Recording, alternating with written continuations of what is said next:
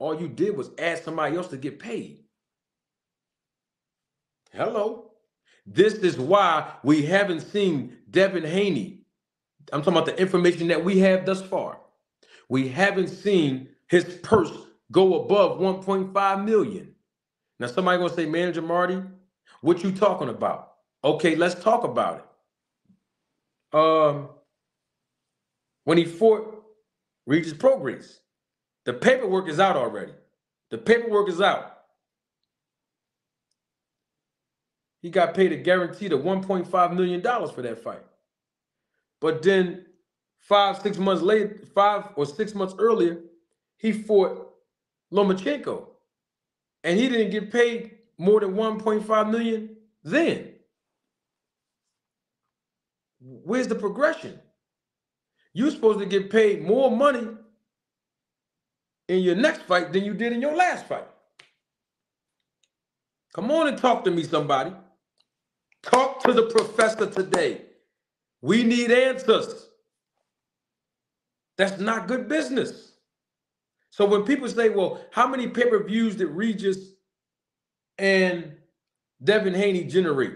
Notice I never talked about the pay-per-view numbers. You know why? Because it don't make no difference. You want to know why it don't make no difference to me? Because the fighter is not going to benefit from it. So let's say they did do 300,000 buys. Let's just say they did 300,000 buys. Regis Prograis versus Devin Haney. Well, Devin Haney and Regis are both locked into a guaranteed contract with Matchroom and Eddie Hearn. So they're not entitled to the back end money. So that's why I never talked about the pay per view numbers. But you heard other content creators talking about it. And the reason why is because it is good content. But see, you got to understand the business of boxing. So now that's why I love when other content creators come over here.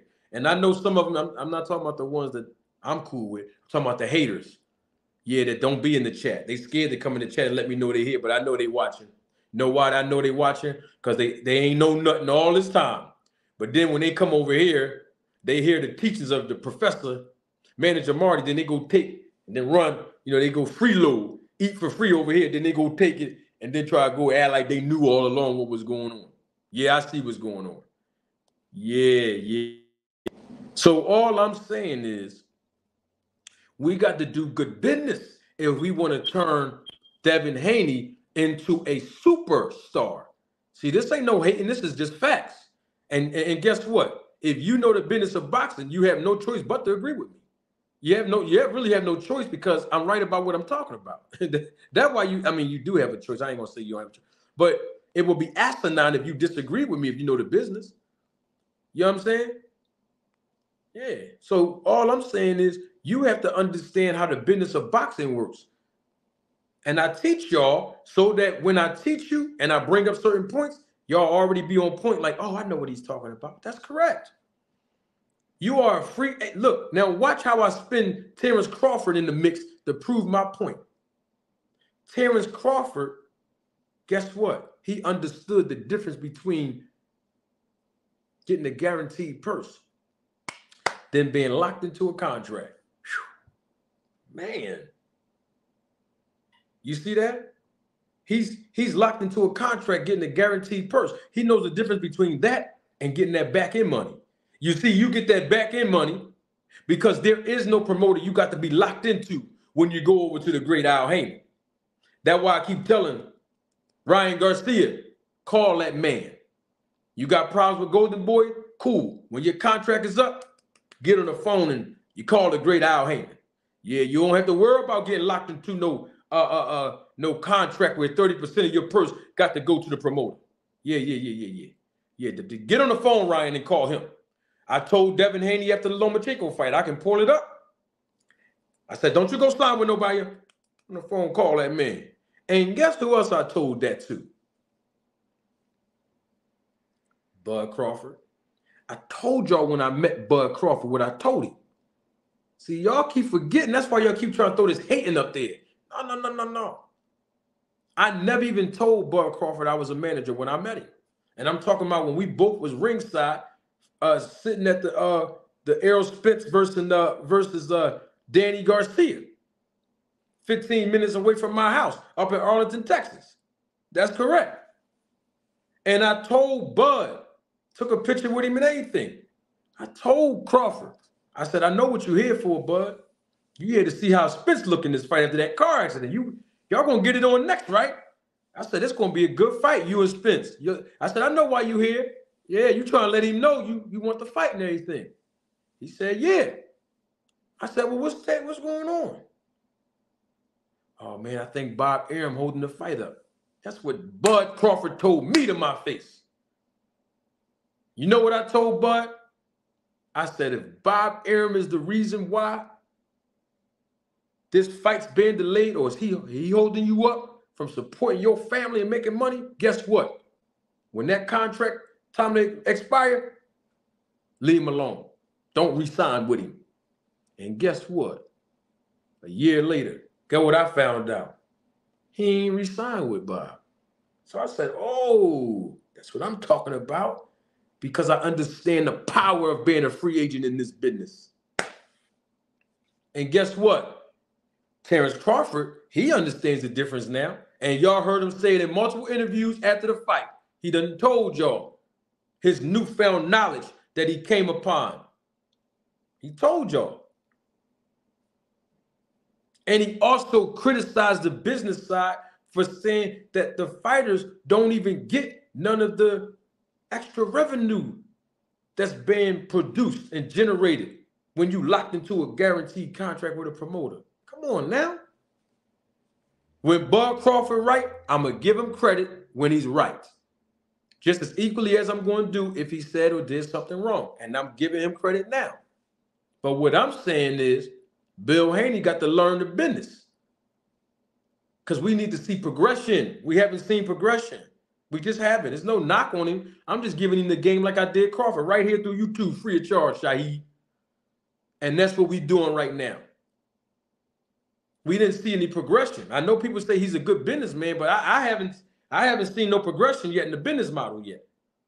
I keep seeing them run to this promoter, getting uh, uh, 30% uh, of their purse taken and getting locked into a guaranteed contract, not getting no extra revenues that's generated, and then run to this promoter and then run, spin the block, bust a U-turn and run back to that other promoter that he was with before Bob. I mean, that's what I see, Shaheed. I mean, what do you see in all this, Shaheed?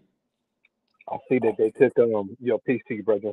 I see that they took um they took your advice because if you think about it, the time frame they didn't have that until you actually verbalized it. I know that I know they got people watching your channel, bro. So mm-hmm. I think that you know the advice that you gave, all of a sudden Terrence Crawford got that contract that he was searching for. Remember, he made the live. He went live on Instagram saying that he was getting effed up out of the deal and, and no back end money, no nothing. And then when you went, you know, live on your podcast, you let it be known what it was he needed to do to seal the deal. And actually, right after that, uh, uh, not too much longer after that, he sealed the deal.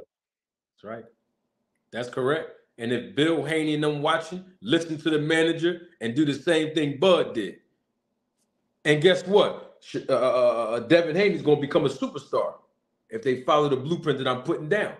Because right now, he's still stuck in this star level chasing after belts. When you got a guy in Tank Davis who don't need no belts no more. When you got a guy in Tank Davis who don't need to be locked into a guaranteed contract with a promoter. You see my point? Superstar. Deontay Wilder, superstar. Errol Spence, superstar. Know why? because they ain't locked into no guaranteed promoter and they got good representation. It's very simple here. And guess what else all three of them got in common? Besides them having world titles. This is another thing they got in common. They're all three of those guys are American. See, that's why I point those three guys out. I can throw Danny Garcia in there too. He a superstar too. But I'm just saying is these guys are Americans. I, I, I mean, I can do a little thing on Canelo and Ryan, the Mexicans, but no, we ain't talking about them today. We talking about the Americans that can become superstars in this business. They're Americans, and Devin Haney is an American, and he has the potential to be a superstar. But what's happening is the business model, not progression. No progression in the business model. All that doing this and camera and all that, that ain't that ain't that ain't the way. Bill Haney calling out fighters, that ain't the way. It ain't working. All that chasing after the belts, that ain't the way, because guess what? You're still losing money there. Let's talk about it now. I'm a businessman. See, we in business to make money and mitigate our risk at the same time. That's what good businessmen and women do. So now let's put this in let, let's put this in perspective real quick, Shahid. Mhm. So you locked into a contract with a promoter. Mhm. He's going to give you a guaranteed purse that never generated more than 1.5 million. We know that's a fact. Fact number two, 30% of your purse going to go to the promoter. And fact number three, since you want to chase the belts, you got the belts, and watch this. 3% of each of the belts that you're walking around with, 3% of your purse got to go to the sanctioning body.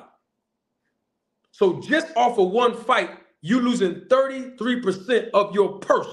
30 for the promoter and 3% to the sanctioning body who you walking around carrying a belt. Come on, let's let's talk about it now.